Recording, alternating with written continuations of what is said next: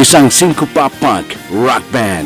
Ito ang Grace Note na nagpasikat ng ilang mga awitin tulad ng Minsan lang naman. Di man tayo magkasama, lagi mo sana pagdaan na ikaw ang dahilan. Bakit muli pang nagmahal? Pwede ako. Pwede ako ngayon. kanyang dahilan ng iyong lungkot. Fire away!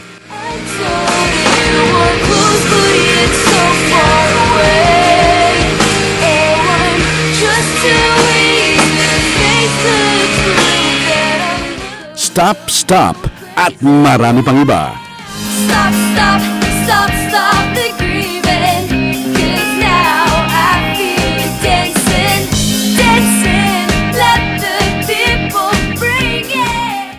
2012, nakapag-release ang banda ng kanilang debut album under Superstar Management and Universal Records, The First Movement. At sa pagkakataong ito, inihahandog ng Grace Note ang awiting I Will Wait featuring China Ortaleza o Lara Sirena.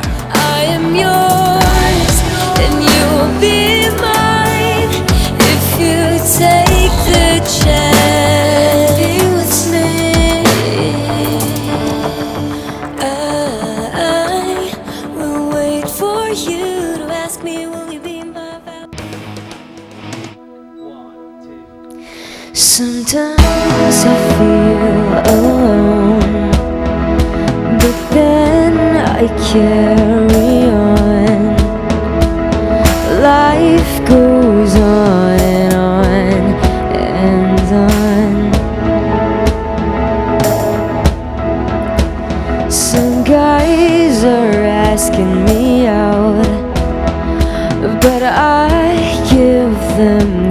out.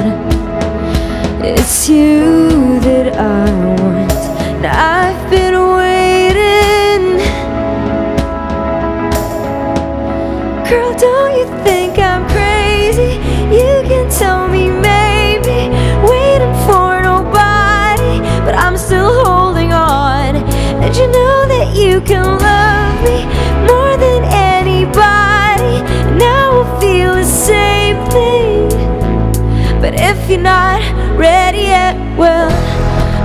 I will wait for you to ask me, will you be with me tonight? And I'll be around, yeah. I will wait for you to tell me it's you I want all my life, and I'll be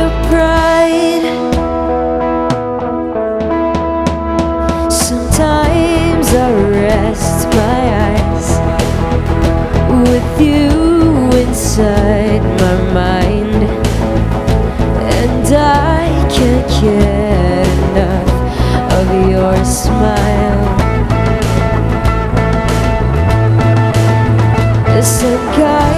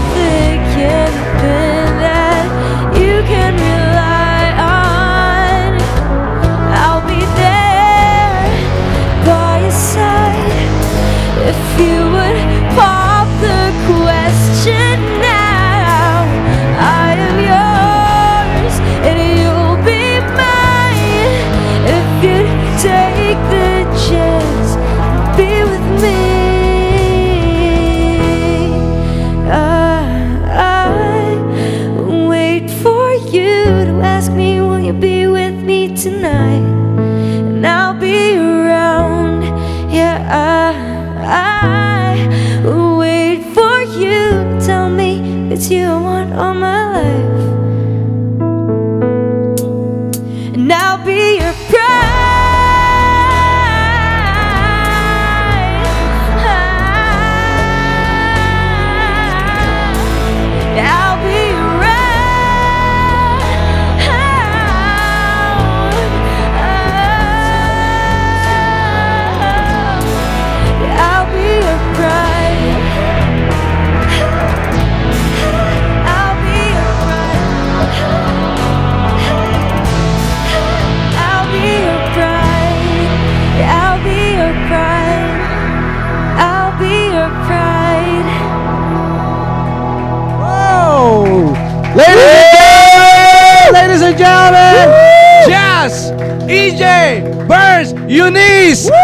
collectively known as Grace Note! And Lara Serena. Ay, Bigla naman sumulpot Yung mahabol. para sa puti. Pero ang mahalaga ay nandito tayo dahil excited akong makakilala ang Grace Note. ayan. Hello, nice to meet you. Hello, welcome to Letters in Music. Yun. for having us. It's been Okay. a while. Yeah, it's been a while since uh, this morning. parang, parang, parang narinig ko yung interview niyo this morning. Oo nga eh. Parang nandun ako na sumili pa ka nun eh. parang kasalukuyan akong driver mode kanina. O ba? umaga. Okay. Nako, nakakatuwa naman. Uh, sinamahan tayo siyempre ng Grace Note sa Letters and Music Apps. Nako. Eh, siyempre may mga Facebook questions ba tayo? Correct. Simulan na natin kasi marami-rami yan. Kailang hanggang lima lang yata yung mga natin. Ito galing kay Mark R. Sarmiento. Magaling ang bandang Grace Note. Lalo na si Eunice. Halos lahat na instruments na tutugtog niya. Marunong pa siyang mag-guitar. Ask ko lang po, paano nabuo ang Grace Note at anong instrument ang una niyang natutunan? Di masyado mahaba yung question. Eh? Pangarap ko rin makapagpapik sa kanila. Salamat po. Hashtag Gracians. Hashtag Kalyalisa, the best band. Hashtag Letters and Music. Hashtag. Thank you so much. Okay. Okay, dami Ang nun haba ah. nun, di ko na naalala. Hindi mo na maalala? Ano yung una? ko yung paano kami nagkakilala. Ah, Yun. Yun. Yun, um, nagsimula siya, na, magkakaibigan na kami nung, nung college pa lang. Ah, Si EJ, nakilala ko siya sa, sa mag, magkaparehas kami ng course. So, Oh. sa school ko siya nakilala. Ito si Jazz naman, baby pa lang kami magkakilala. Kapatid ko. Kapag sila. Nag-uusap na sila, baby pala. Uh, Tapos si, si Burns, um, uh, nakasama namin siya dahil siya yung lagi nagsisession sa amin sa banda ni Cleggy naman. Sa Ayun. Superstar namin. Nakapasok namin sa Superstar. Kasi Ayun. before, mahilig na talaga kaming uh, nag-start siya sa Simple Jam. Tapos mahilig na talaga kaming like mag-gig sa labas, mga tipong nag- nag-battle of the bands kami. Wow. interpretation bands. And then, um, it came to a point na na one of the judges is um, was Darwin, Darwin Hernandez of Superstar. Tapos, dun kami nagkakilala ni Sir Darwin. Tapos, from that, uh, binibigyan niya kami ng gigs. And then, hanggang sa nakapasok kami ng Superstar. At nagkaroon kami ng album. At, yun, the rest, rest is history. The rest is history. Ah, Eh, isa pang katanungan yata doon eh, ano pa daw ang instrumento na na-play mo? Yeah, maliban sa... Or meron ka bang instrument na hindi na-play? Yun. Kasi parang halos lahat daw ng instrument na nahawakan mo natuto. Ano daw yung una mo natutunan sa Oo. an instrument? Yung pinaka-foundation ko na instrument, yung ano, piano talaga. Piano. Kasi five years old pa lang. Yung dad ko, pianist. So, tinuruan na kami. Ay, Mga bata pa lang wow. kami. Bongga. Tinuruan na kami mag-piano. Tapos, um, yun, nag- nag-guitar din ako. Pero dahil sa hilig na lang din. Kasi nung, nung high school, dun ko rin nahanap yung sarili ko na gusto ko pala talaga magbanda. Nung nakahawak na ako ng gitara. Tsaka, dun na, kum- kumonekta na lahat. Nag-drums na rin ako. At, Oh, wow! At, One man, naman. one girl band. Nagkulintang at nagkasta na. Kajapi. Nagbanjo na, nagano. Yun. Why not? Galing naman ito kay Grace Porcal. Sabi niya, kailan po i-release yung second album? Excited na po kasi ako ng sobra, Hindi sabi ka niya. nag-iisa.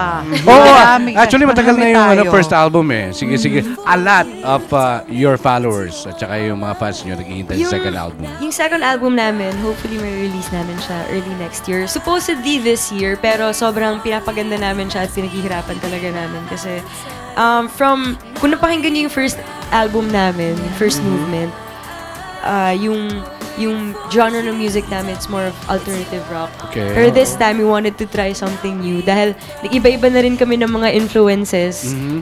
Um, habang tumatagal, nakikinig kami ng mga iba-ibang bands na rin. Nakikinig kami ng mga mga electronic music like 21 Pilots, Charlie. XCX. Yung bagong um, album ni Taylor Swift 1989 sobrang nabaliw kami doon so parang we wanted to we wanted to try something new na parang guys mag-explore tayo parang Ayun. ano tapos yun ngayon sa second album binubuhos namin lahat ng influences namin ngayon at yun um, sobrang excited kami marinig yun dahil sobrang bago yung bago yung second album namin titled Transparent Aba. Inspiring, kitang-kita. Nag-spearhead na ba nun doon sa I Will Wait yung simula ng pagbabago ng dag flavoring? Actually, yung I Will Wait, yung pinaka-starter talaga ng album. Yun yung introduction ng album. Kung makapansin nyo, ang dami ng mga bagong elements na nilagay, mga tunog Pansin na hindi nga. nyo, pang, na, hindi, hindi nyo pa narinig sa first album namin. So, Tama. it's really different.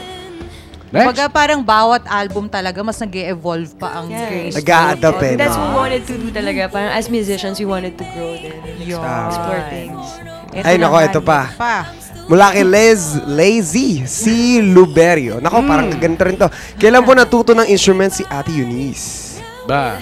Ay, Kailan? Bang pinanganak ka? Oo nga eh. Parang, Five years old pa lang ako. Ayun, ah, tinuruan na ako ng dad ko mag, mag-piano. Tapos nagtuloy-tuloy na siya hanggang sa kinuha ko siya as my ah, profession.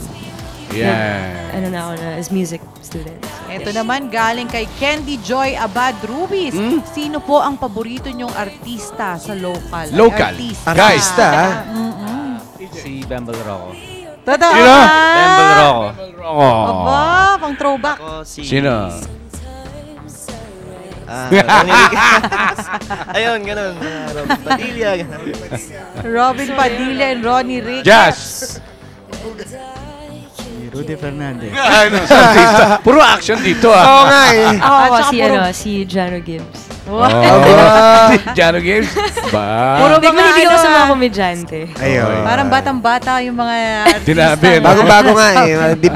Iniidolo eh. Correct. Mga icons talaga eh, sa ano sa showbiz. Ito, Spencer Jong naman, sabi niya, Hey, Grace Note! Gusto ko lang itanong kung sino ang mga inspirasyon nyo. Hmm, yung nakaka-emoticon. Super fan niyo po ako. I love you, Grace Note. Ayan. Inspirasyon.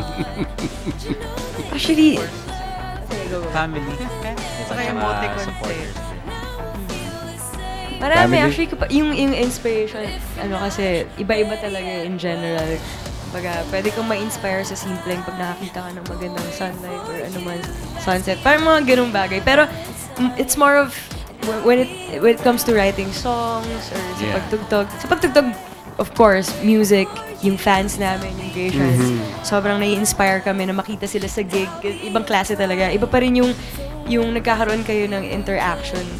Pag, pag nakikita nyo talaga sa personal, yung gustong mag-support sa inyo. Nice. Sobrang, um, ang sarap sa feeling na kinakanta nila yung mga kanta nakaka-inspire siya. Tapos sa iba naman, like, may- our parents, um, our friends, uh, experiences mostly, na yung mga hugot. Yung, Yeah. yung yung mga hugot. May parents, may friends. May more than friends ba? Oh, yun. Oh, May mga ganun tipo ba na inspirasyon?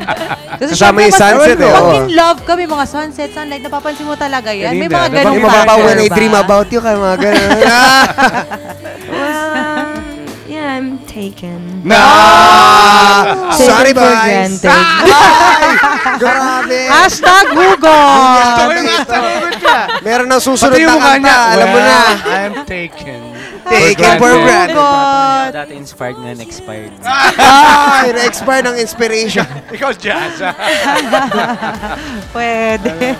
Uh, si Burns.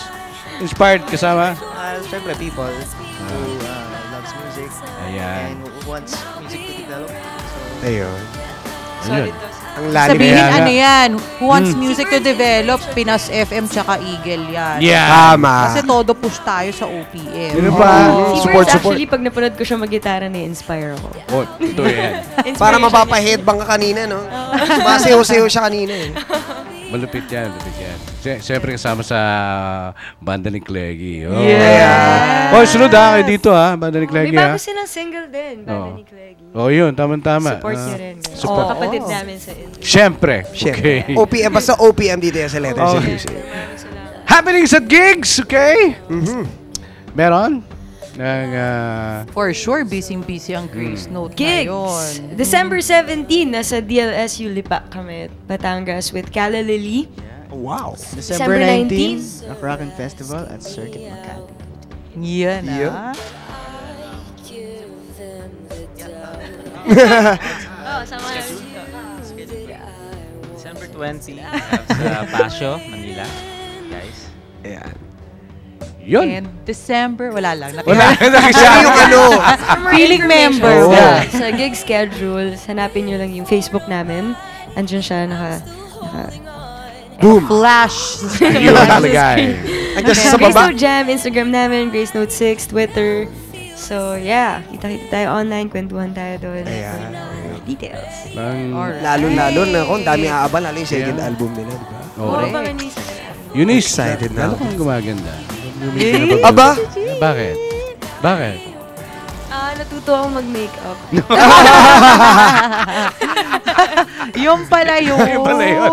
Pero thank you, thank you sa pagsabi niyo. Sabi, I really appreciate it. Nako, Okay. dahil dyan, excited na ako marinig ng isa pang awitin from Grace, no? Eto na. Ay, nako. Sige. Ladies and gentlemen, wag na natin patagalin. Siyempre, napakinggan natin yung unang inawit nila kanina. Ngayon naman, siyempre, ituloy-tuloy natin ang tugtugan at kantahan dito sa Letters and Music. Once again, Grace No! Thank you, Letters and Music, for having us. Hi to all the viewers. This is for you.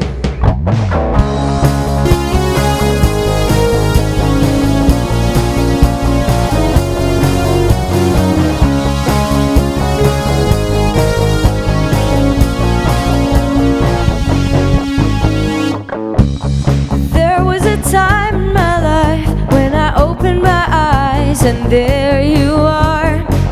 You were more than a dream. I could reach out and touch you, boy. That was long ago.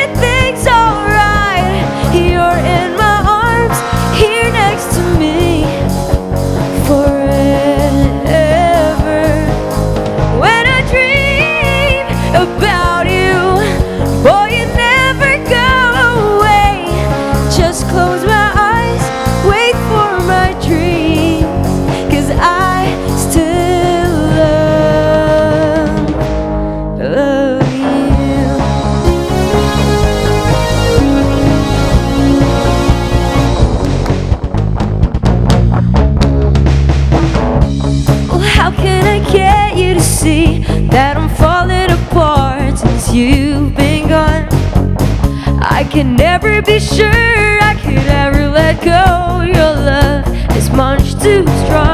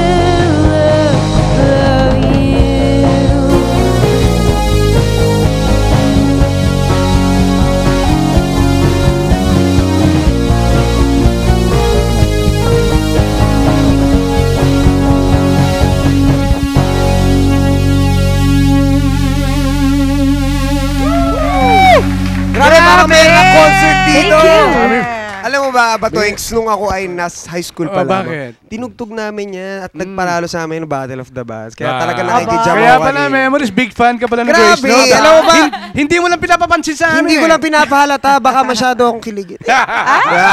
Ay, Pero grabe, ang galing. Kasi para nanonood ng concert, dami ng tao dito eh. Bigla na lang Yeah. dumaan. Alam mo ngayon lang napuno ang studio. Dati limang piraso lang Huwag po kami tayo doon. magtulakan. Huwag po tayo Ngayon, magtulakan. 100 tayo sa studio ngayon. Ang daming tagahanga ng Grace.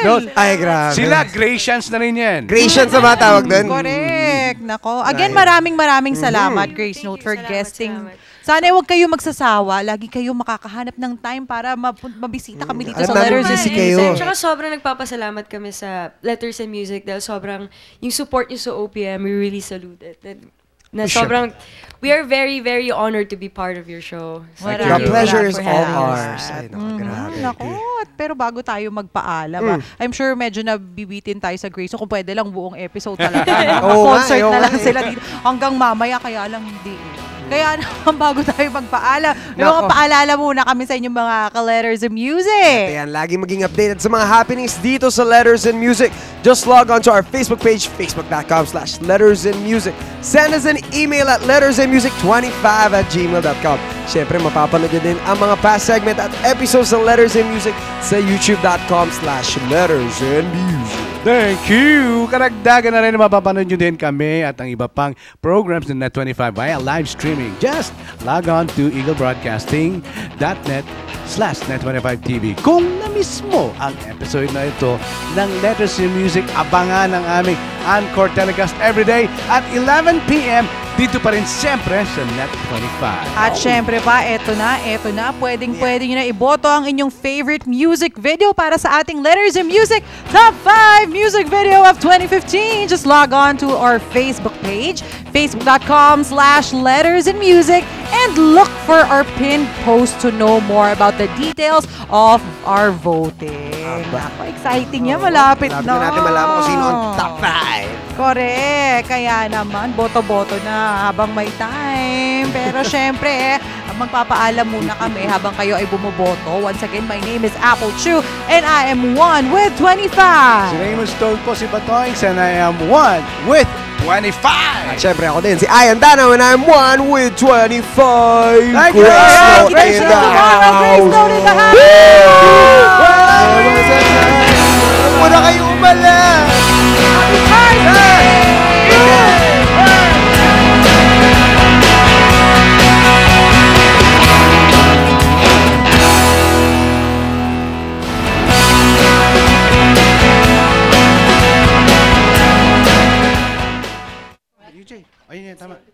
Para mas malapit kayo.